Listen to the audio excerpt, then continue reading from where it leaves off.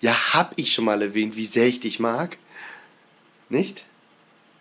Liegt vielleicht daran, dass ich dich nicht mag? Hm?